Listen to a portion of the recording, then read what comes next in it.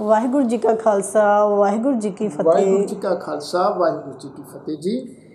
ਸਰਦਾਰ ਜੀ ਜਿਸ ਤਰ੍ਹਾਂ ਤੁਸੀਂ ਜਾਣਦੇ ਹੋ ਕਿ ਗੁਰੂ ਨਾਨਕ ਸਾਹਿਬ ਜੀ ਦਾ ਗੁਰਪੁਰਬ ਆ ਰਿਹਾ ਹੈ ਤੇ ਗੁਰੂ ਨਾਨਕ ਪਾਤਸ਼ਾਹ ਜੀ ਦੇ ਗੁਰਪੁਰਬ ਨੂੰ ਸਮਰਪਿਤ ਕਈ ਕੀਰਤਨ ਦਰਬਾਰ ਕਰਵਾਏ ਜਾ ਰਹੇ ਹਨ ਨਗਰ ਕੀਰਤਨ ਵੀ ਕੱਢੇ ਜਾ ਰਹੇ ਹਨ।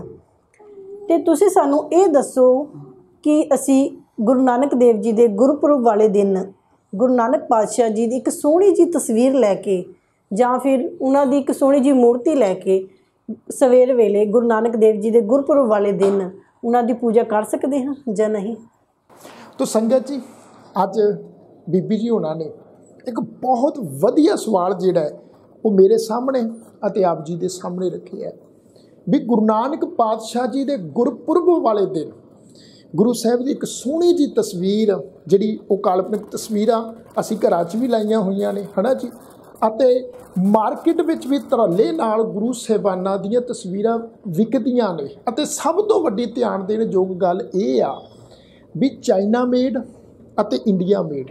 ਗੁਰੂ ਨਾਨਕ ਪਾਤਸ਼ਾਹ ਦੀ ਇੱਕ ਜਿਹੜੀ ਮੂਰਤੀ ਆ, ਉਹ ਵੀ ਕਾਲਪਨਿਕ, ਉਹ ਵੀ ਬੜੇ ਧੜੱਲੇ ਨਾਲ ਵਿਕ ਰਹੀ ਆ ਜੀ।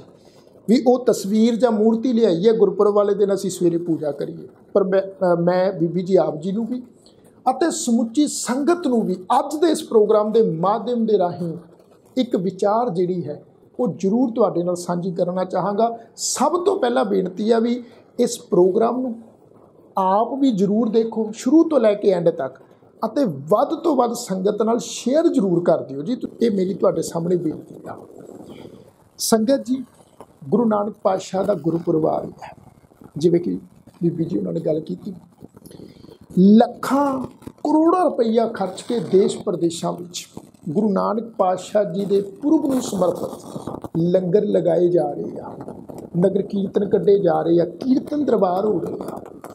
ਪਰ ਮੈਂ ਬਹੁਤ ਵਾਰ ਹੈਰਾਨ ਹੁੰਦਾ ਵੀ ਲੱਖਾਂ ਕਰੋੜਾਂ ਰੁਪਈਆ ਅਸੀਂ ਹਰ ਵਾਰ ਗੁਰਪੁਰਬਾਂ ਤੇ ਖਰਚਦੇ ਆ ਤੇ ਉਹਨਾਂ ਲੱਖਾਂ ਕਰੋੜਾਂ ਰੁਪਈਆਂ ਦੀ ਜਿਹੜੀ ਆਊਟਪੁੱਟ ਹੈ, ਉਹ ਸਾਨੂੰ ਕੀ ਮਿਲਦੀ ਹੈ ਜੀ?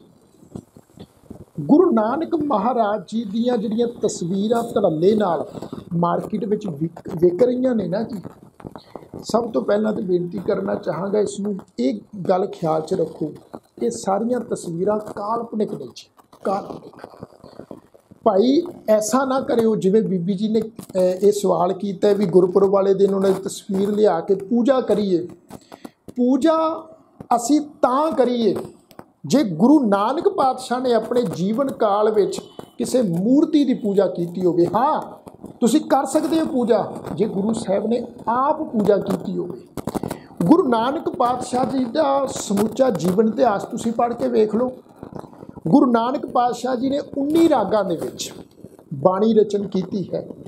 ਸਮੁੱਚੀ ਗੁਰੂ ਨਾਨਕ ਪਾਤਸ਼ਾਹ ਜੀ ਦੀ ਪਾਵਨ ਅੰਮ੍ਰਿਤਮਈ ਬਾਣੀ ਵਿੱਚ ਕੋਈ ਐਸਾ ਸ਼ਬਦ ਹੋਵੇ, ਤੁਸੀਂ ਪੜਿਆ ਹੋਵੇ, ਜਿਹਦੇ ਵਿੱਚ ਗੁਰੂ ਸਾਹਿਬ ਜੀ ਇਹ ਗੱਲ ਕਹਿੰਦੇ ਹੋਣ ਵੀ ਮੂਰਤੀ ਦੀ ਪੂਜਾ ਕਰਨੀ ਚਾਹੀਦੀ ਹੈ ਜੇਕਰ ਤੁਸੀਂ ਪੜਿਆ ਤੇ ਮੇਰੇ ਸਾਹਮਣੇ ਰੱਖੋ, ਜੇਕਰ ਤੁਹਾਨੂੰ ਕੋਈ ਸਾਖੀ ਕੋਈ ਘਟਨਾ ਪਤਾ ਹੋਵੇ ਵੀ ਗੁਰੂ ਸਾਹਿਬ ਜੀ ਮੂਰਤੀ ਦੀ ਪੂਜਾ ਕਰ ਰਹੇ ਆ, ਤੇ ਸਾਨੂੰ ਵੀ ਦੱਸ ਰਹੇ ਆ ਵੀ ਅਸੀਂ ਮੂਰਤੀ ਦੀ ਪੂਜਾ ਕਰੀਏ।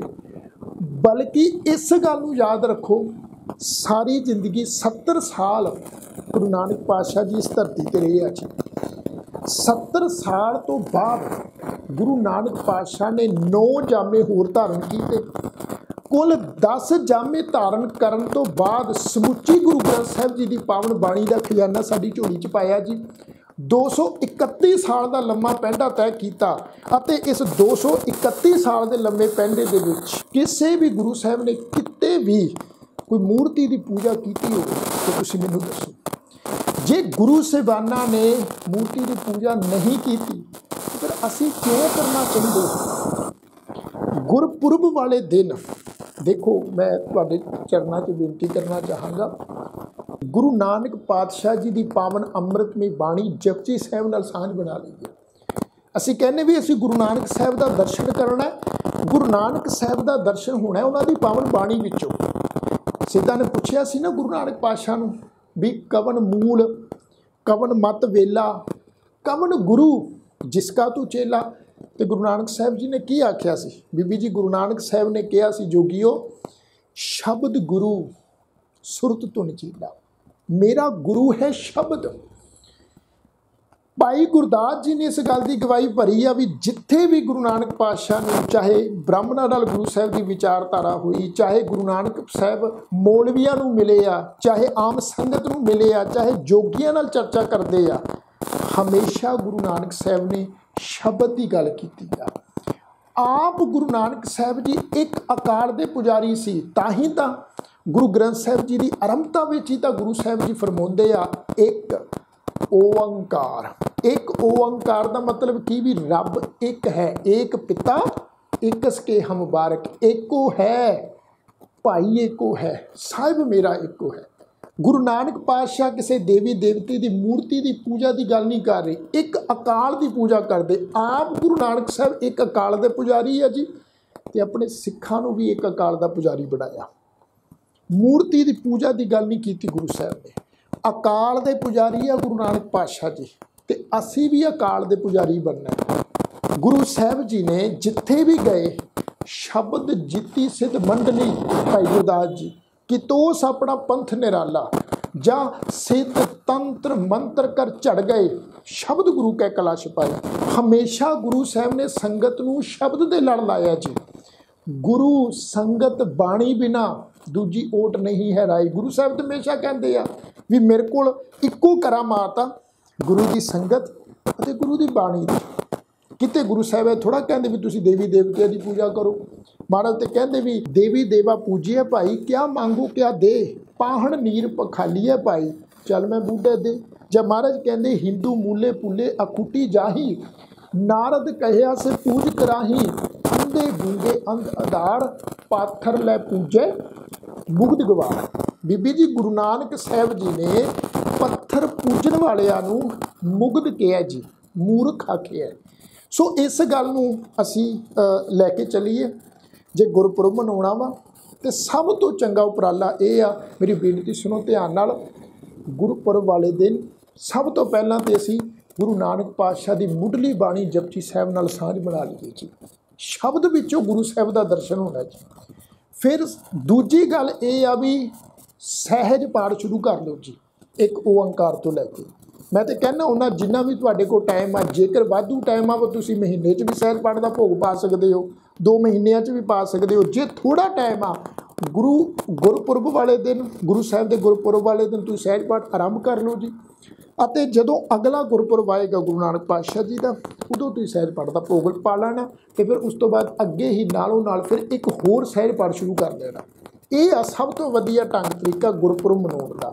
ਫਿਰ ਲਾਏ ਹੋਏ ਲੰਗਰ ਵੀ ਸਫਲ ਆ, ਕੱਢਿਆ ਨਗਰ ਕੀਰਤਨ ਵੀ ਸਫਲ ਆ, ਲਗਾਏ ਹੋਏ ਕੀਰਤਨ ਦਰਬਾਰ ਵੀ ਸਫਲ ਆ, ਫਿਰ ਆਊਟਪੁੱਟ ਨਿਕਲਣੀ ਸ਼ੁਰੂ ਹੋਏਗੀ। ਜਿੰਨੀ ਸੰਗਤ ਗੁਰਦੁਆਰਿਆਂ ਦੇ ਵਿੱਚ ਜਾ ਰਹੀ ਆ, ਗੁਰਪੁਰਬ ਨੂੰ ਲੰਗਰ ਖਾਣ ਵਾਸਤੇ ਨਗਰ ਕੀਰਤਨਾਂ 'ਚ ਜਾਂ ਕੀਰਤਨ ਦਰਬਾਰਾਂ 'ਚ, ਭਾਈ ਸੰਗਤ ਜੀ ਆਊਟਪੁੱਟ ਕੱਢੋ। ਆਊਟਪੁੱਟ ਇਹ ਆ, ਗੁਰੂ ਨਾਨਕ ਸਾਹਿਬ ਦੇ ਕਲਾਮ ਨਾਲ, ਗੁਰੂ ਨਾਨਕ ਸਾਹਿਬ ਦੀ ਬਾਣੀ ਨਾਲ ਜੁੜ ਜਾਓ। ਇਸ ਗੁਰਪੁਰਬ ਨੂੰ ਤਹਈਆ ਕਰ ਲਓ ਕਿ ਗੁਰੂ ਨਾਨਕ ਸਾਹਿਬ ਜੀ ਅਸੀਂ ਕਾਲਪਨਿਕ ਤਸਵੀਰ ਨਾਲ ਨਹੀਂ ਜੁੜਨਾ। ਬੇਸ਼ੱਕ ਤੇ ਘਰਾਂ 'ਚ ਤੁਸੀਂ ਲੈ ਆ, ਲੈ ਆਇਓ ਤਸਵੀਰਾਂ। ਅਜਾਇਬ ਘਰਾਂ 'ਚ ਗੁਰੂ ਸਾਹਿਬਾਨਾਂ ਦੀਆਂ ਤਸਵੀਰਾਂ ਲੱਗੀਆਂ ਨੇ। ਇੱਕ ਮਾਧਿਅਮ ਬਣਾ ਲਿਆ ਵੀ ਅਸੀਂ, ਸਾਨੂੰ ਇਤਿਹਾਸ ਦੀ ਜਾਣਕਾਰੀ ਹੋਏਗੀ। ਪਰ ਸਭ ਤੋਂ ਵੱਡੀ ਗੱਲ ਇਹ ਆ, ਤਸਵੀਰਾਂ ਨਾਲ ਨਹੀਂ। ਰਚੇਤਾ ਜਿਹੜਾ ਅਕਾਲ ਪੁਰਖ ਪਰਮੇਸ਼ਵਰ ਆ, ਉਹਦੇ ਨਾਲ ਜੁੜਨਾ ਹੈ। ਚੱਚਾ ਰਚਿਤ ਚਿੱਤਰ ਹੈ ਭਾਰੀ, ਤਜ ਚਿੱਤਰੈ ਚੇਤੋ ਚਿਤਕਾਰੀ। ਜਿਹਨੇ ਦੁਨੀਆ ਦਾ ਨਕਸ਼ਾ ਬਣਾਇਆ ਨਾ ਜੀ, ਉਹਦੇ ਨਾਲ ਜੁੜਨਾ ਗੁਰੂ ਸਾਹਿਬ ਕਿਰਪਾ ਕਰਨ ਜੀ, ਬੀਬੀ ਜੀ ਨੇ ਬੜਾ ਸੋਹਣਾ ਸਵਾਲ ਪੁੱਛਿਆ ਹੈ ਤੇ ਮੈਂ ਉਮੀਦ ਕਰਦਾ ਬੀਬੀ ਜੀ ਹੁਣਾਂ ਨੂੰ ਵੀ ਅੱਜ ਇਹ ਜਾਣਕਾਰੀ ਪਤਾ ਲੱਗ ਗਈ ਹੋਵੇਗੀ ਵੀ ਸਿੱਖ ਅਕਾਲ ਦਾ ਪੁਜਾਰੀ ਹੈ ਜੀ, ਗੁਰੂ ਦੀ ਬਾਣੀ ਦਾ ਪੁਜਾਰੀ। ਸਿੱਖ ਕਿਸੇ ਤਸਵੀਰ ਦਾ ਪੁਜਾਰੀ ਨਹੀਂ ਆ, ਮੂਰਤੀ ਦਾ ਪੁਜਾਰੀ ਨਹੀਂ ਆ। ਅਸੀਂ ਸ਼ਬਦ ਦੇ ਲੜ ਲੱਗਣਾ ਹੈ, ਬਾਣੀ ਦੇ ਲੜ ਲੱਗਣਾ ਹੈ, ਤਸਵੀਰ ਦੇ ਲੜ ਨਹੀਂ ਲੱਗਣਾ।